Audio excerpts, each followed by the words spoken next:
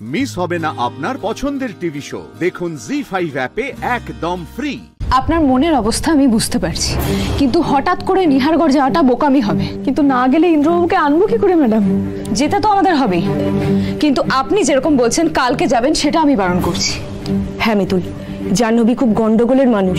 ওর নামে খুন ডাকাতি অপহরণের একাধিক মামলা চলছে। কোনো প্রিপারেশন না নিয়ে গেলে কিন্তু তোমারই বিপদ হতে পারে। তো প্রিপারেশন নিতে কত সময় লাগবে?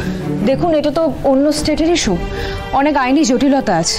দু তিন দিন সময় তো লাগবেই আমাদের অনেক দেরি হয়ে যাবে ম্যাডাম পঞ্চাদা? হ্যাঁ পঞ্চাদা বলো। মিতুল দিদি আমি রণদাদার ঘরে আড়ি পেতেছিলাম। সাথে ফোনে কথা বলছিল। ইন্দ্রদাদা ওই নিহারগড় হ্যাঁ। নিহারগড় বলে কোনো একটা জায়গায় আছে মিতুল দিদি। আর ওই রণজিৎ লাহিড়ি ইন্দ্রদাদাকে মারতে যাচ্ছে। তুমি কিছু একটা করো মিতুল দিদি। হ্যালো মিতুল দিদি হ্যালো হ্যালো। কি হলো মিতুল? প্রণদাদা খবর পেয়ে গেছে ইন্দ্রবাবু বেঁচে আছে। আর নিহারগড়ের উদ্দেশ্যে বেরিয়েও পড়েছে। কি? ও কি করে জানলো? আমি জানি না করে দিদি কি করে জানলো। পঞ্চাদা তো আর কিছুই বলল না। শুধু এইটুকুই বলল, নিহারগড়ের উদ্দেশ্যে বেরিয়ে পড়েছে। আমরা এত কিছু চেষ্টা করলাম, তারপরেও কিছু না বলো না। এই ভয়টাই আমি পাচ্ছিলাম। ইন্দ্রবাবু বেঁচে আছে, এই খবরটা পেয়ে নিশ্চিত হলাম। কি হলাম না? আর একটা খবর এসে হাজির। বলে, বাবা, তুমি কি একটু শান্তি দেবে না আমায়? না না, আর হাউতাস করে লাভ নেই। অর্কদা কলি দিদি তৈরি হয়ে নাও। আমাদের এক্ষুনি বেরোতে হবে। বেরোতে হবে মানে? আমি একটু আগে কি বললাম আপনাকে? আমি বুঝতে পেরেছি আপনি কি বললেন কিন্তু আপনি নিজেই তো শুনলেন পঞ্চাদা কি বলল। আপনি বুঝতে পারছেন না আপনি কত বড় রিস্ক নিচ্ছেন। তাহলে কি করব? আমার স্বামীকে একজন মারতে যাচ্ছে যেন আমি বাড়িতে বসে থাকব।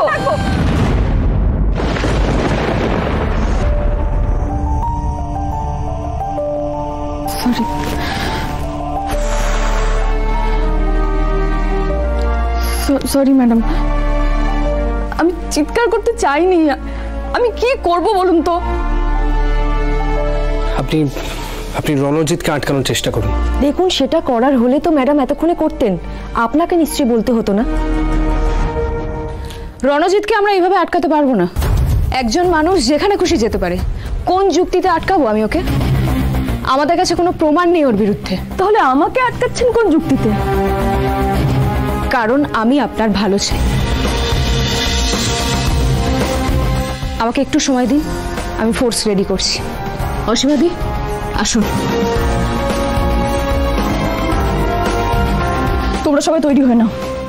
আমরা এক্ষুনি নিহারগড়ের উদ্দেশ্যে রওনা দেব। আর শিবাকেও ডেকে নাও। ওকে আমাদের লাগবে। পুলিশ চলুক পুলিশের পথে। মিতুল চলবে তার ভোলে বাবার দেখানো পথে। এত বড় একটা খবর পেয়েও আমি কিছুতেই হাত গুটিয়ে বসে থাকতে পারব না।